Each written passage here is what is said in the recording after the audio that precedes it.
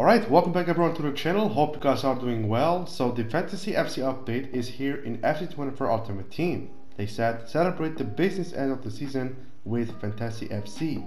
Decide which teams and players are set to thrive in the coming weeks and reap the rewards in Ultimate Team with additional informed upgrades.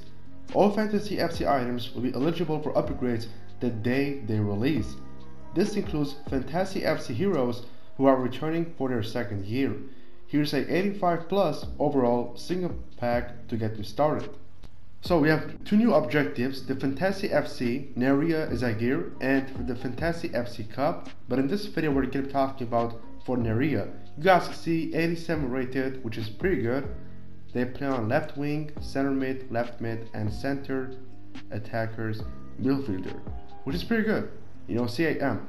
So we have four objectives, tri uh, Dribble Triumph, Attackers 8, Play 4, and Goal Sensation. So let's talk about on how you can complete these objectives. So for the Triple Triumph, you have to win 3 matches. For the Attackers 8, you have to assist 4 goals using attackers. It can be left wing, right wing, center forward, and especially we're talking about uh, you know, basically CAM players. You guys know what I mean? That they play on attackers uh, position. Now for play 4 you have to play 4 matches and for the last one for the goal sensation you basically guys have to make sure um, to pretty much score 3 goals. I gotta say I kind of feel like that nowadays um, these objectives are become quite easier. You have to like assist goals, win 3 matches, uh, play 4 matches and score 3 goals. I mean this is literally easy, super simple.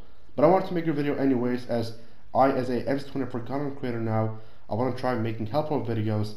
Um, so yeah, I'll see you guys for the next one. If you have any questions, guys, feel free to ask and take care, y'all.